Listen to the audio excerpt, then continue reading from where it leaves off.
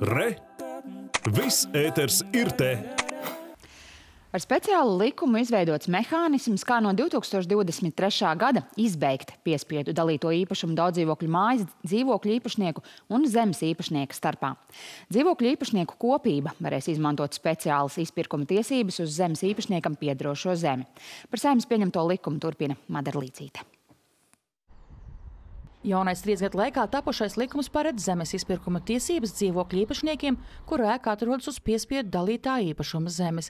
Par to būs jānobalso dzīvokļu īpašniekiem, kam pieder vairāk nekā puse no visiem ēkā esošajiem dzīvokļiem. Paralēli aizvien spēkā paliek jaunā piespiedu nomas kārtība, kas nosaka regulējumu un piespiedu nomas maksas griestus 4% apmērā. Jāparedz šī aprēķināšanas formulā, ka zeme kura ir zem daudzdzīvokļu mājām, tiek uzskatīta kā apgrūtinājums, un attiecīgi kadastrālā vērtība ir jāsamazina un jāpietuvina tirgus vērtībai, kas noteikti ir zemāka nekā kadastrālā vērtība.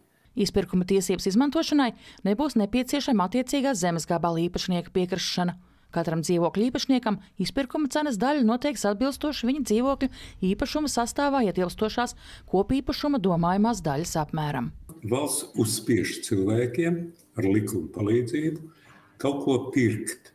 No privāta personām, starp citu. Aicinātu tomēr saglabāt šo likumprojektu konceptu, kad uh, zemes gabala izpērk kopumā un mēs neveidojam jaunas īpašuma formas. Saistībā ar jauno likumu vēl nepieciešama grozījuma citos likumos un ministru kabineta noteikumi tāpēc likums stāsies spēkā tikai 2023. gada 1. janvārī. Valsts zemes dienesta dati liecina, ka pat labāk Latvijā ir 3677 dzīvojamās mājas ar 110 tūkstošu dzīvokļiem, kuras atrodas uz 7350 citām personām piederošām zemes vienībām.